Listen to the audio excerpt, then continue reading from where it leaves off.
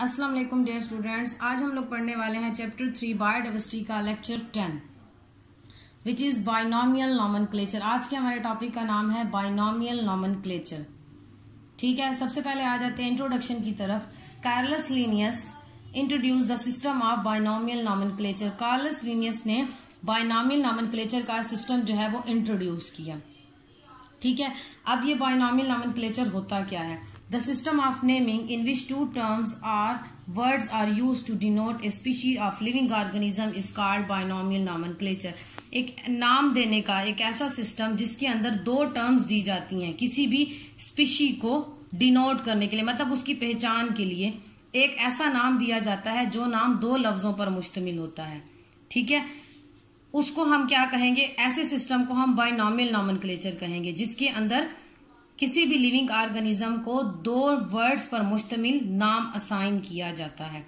ठीक है? इस चैप्टर के स्टार्ट में ही मैंने आपको बताया था, जब क्लासिफिकेशन पढ़ाई थी तो मैंने आपको कहा था कि क्लासिफिकेशन सिर्फ़ ये नहीं है कि आपने लिविंग ऑर्गेनिज्म को ग्रुप में डिवाइड कर दिया दैट्स इट उसके अलावा हमने उसको नेमिंग का प्रोसेस भी जो है वो करना होता है, उनको नाम भी देने होते हैं। तो ये वही प्रोसेस है जिसके ज़रिए साइंटिस्ट जो है वो लिविंग ऑर्गेनिजम्स को नेम्स असाइन करते हैं। ठीक है? अब ये नेम असाइन क्यों किए जाते हैं? उसकी एक वजह है कि अगर आप लोग देखें तो किसी भी लिविंग ऑर्गेनिज्म के जो कॉमन नेम्स होते हैं, वो बहुत सारे होते हैं। जैसे कि अब मैंगो फॉर एग्जांपल मैंगो है। अब इंग्लिश में उसको मैंगो कहते हैं, उर्दू में हम आम कहते हैं, पश्तो ज़ुबान में कुछ और कहते होंगे चाइनीज़ में कुछ और कहेंगे। एक मुल्क में अगर इतनी वैरायटी है तो आप सोचो मुल्क के बाहर कितनी होगी। ठीक है? तो हर मुल्क में जो है ना, उसके आम का जो है ना, या मैंगो का वर्ड बहुत मतलब वेरियस लैंग्वेज में यूज़ किया जाता होगा। तो जब इंटरनेशनल सेमिनार्स होते हैं और सारे साइंटिस्ट एक साथ बैठते हैं तो तब एक दूसरे को अंडरस्टैंड करवाने में थोड़ा टाइम लग जाता था साइंटिस्ट को। मतलब हम किस चीज़ के बारे में बात कर रहे हैं? उसकी पूरी डिस्क्रिप्शन देनी पड़ती थी। तो इस वजह से सोचा गया कार्लस लिनियस ने सोचा कि क्यों ना एक ऐसा सिस्टम हो जिसके ज़रिए हम लिविंग ऑर्गेनिज्म को एक खास मखसूस नाम दे दें साइंटिफिक नाम दे दें। जो साइंटिफिक नाम अगर दुनिया में कहीं पर भी बोला जाएगा तो कोई भी साइंटिस्ट है बियोलॉजिस्ट है या साइंस से रिलेटेड कोई भी पर्सन है तो वो उस चीज़ को जो है ना पहचान लेगा कि ये इसके बारे में बात कर करें तो इस वजह से ये बाइनॉमियल नामन जो है वो इंट्रोड्यूस करवाया गया था। तो आ जाते हैं साइंटिफिक नेम्स की तरफ़। The name given by this system is called scientific name इस सिस्टम के ज़रिए जो नाम लिविंग ऑर्गेनिजम्स को दिए जाते हैं, वो नाम साइंटिफिक नेम्स कहलाते हैं। The scientific names of animals are called zoological names अगर ये नाम हम एनिमल्स को दे रहे हैं तो उनके लिए जूलॉजिकल नेम्स की टर्म यूज़ की जाती है।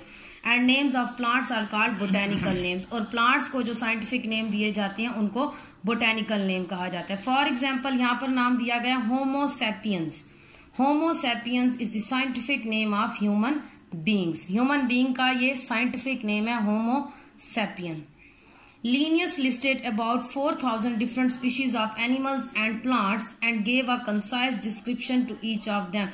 Linnaeus ने इसी सिस्टम के तहत तकरीबन 4,000 मुख्तलिफ़ स्पीशीज स्पीशीज नस्लों को कहते हैं। ठीक है? मुख्तलिफ़ नस्ल के मुख्तलिफ़ एनिमल और प्लांट की नस्लों को उसने क्या किया था? लिस्टेड किया था तरतीब दे के उनको नाम असाइन किए थे और उसके साथ साथ उनकी वजाहत भी दी थी कि ये नाम उसने किस बेस पर दिया है।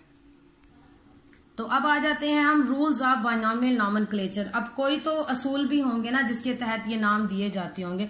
तो उनमें से कुछ रूल्स जो है ना हमने यहाँ पर डिस्कस किए हैं। ठीक है?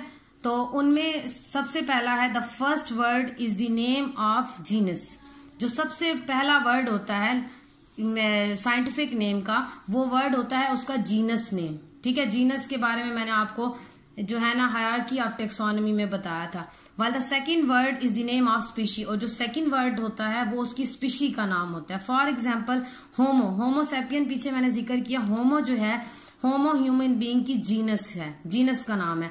और सेपियन जो है, वो स्पीशी है। तो होमो और सेपियन ने मिलकर क्या बना दिया? साइंटिफिक नेम बना दिया। सेकंड इसका है the generic name begins with capital letter and species या specific name with small letter हमेशा जब भी जेनेरिक नेम मतलब जीनस का जो नाम लिखा जाएगा, वो हमेशा कैपिटल लेटर से स्टार्ट होगा। जैसे कि होमो में मैंने लिखा भी है। और जो स्पीशी का नाम है, वो हमेशा स्मॉल लेटर से स्टार्ट होगा। ठीक है? Third one is when a scientific name is typed it is italicised means कि जब साइंटिफिक नेम को कंप्यूटर में अगर हम टाइप करके लिखते हैं तो उसको टाइप करने का तरीका है कि उसको इटैलिकाइज किया जाएगा। माइक्रोसॉफ्ट वर्ड में जब हम लोग राइटिंग करते हैं तो वहाँ पर जो है ना इटैलिक का एक ऑप्शन होता है अगर हम उसको क्लिक करें तो हम जितने भी लफ्ज लिखेंगे ना, वो थोड़े से तिरछे लिखे जाते हैं। तो इसी तरह से जैसे कि मैंने यहाँ पर लिखने की कोशिश किया Rosa indica. Rosa indica is the scientific name of rose red rose जो है ना, उसका ये नाम है साइंटिफिक नेम रोजा इंडिका। तो इनको इस तरह से थोड़ा सा तिरछा लिखा जाता है, अगर आप कंप्यूटर में इस नाम को लिख रहे हो। और अगर आप इसको हैंड रिटर्न लिख रहे हो the two parts are separately underline तो फिर हम इनको सेपरेटली क्या करते हैं अलग अलग दोनों को अंडरलाइन करती हैं। और ये ऐसे रूल्स हैं कि अगर आप किसी साइंटिफिक नेम को लिख रहे हो, अगर इन रूल्स को फॉलो नहीं कर रहे हो तो आपका जो साइंटिफिक नेम है, वो कभी भी सही नहीं समझा जाएगा। वो हमेशा गलत ही ठहराया जाएगा। तो जैसे कि आप लोग अगर पेपर में टेस्ट में या अपनी कापी पर हैंड रिटर्न मतलब हम तो टाइप नहीं करते हैं ना हैंड रिटर्न लिखते हैं। तो हैंड रिटर्न लिखोगे तो आपने हर हाल में जो है इन दोनों नाम को अलग अलग अंडरलाइन ज़रूर करना होगा। ठीक है? यहाँ पे आपकी बुक पेज नंबर 51 पर ये एक टेबल दिया हुआ है biological names of some animals या जूलॉजिकल नेम ठीक है? यहाँ पर कुछ एनिमल्स के जो है ना वो जूलॉजिकल नेम दिए गए हैं लोकल भी और इंग्लिश भी, और उसके बाद जूलॉजिकल नेम है। लोकल नेम है मक्खी इंग्लिश नेम है house fly and zoological name है मुस्का डोमेस्टिका लोकल नेम है जराफा इंग्लिश नेम है giraffe and it is जिरोफा camelopardalis next local name है खारपुश्त porcupine and Histix liquora. Local name is Billy, English name cat and zoological name Phallus domesticus.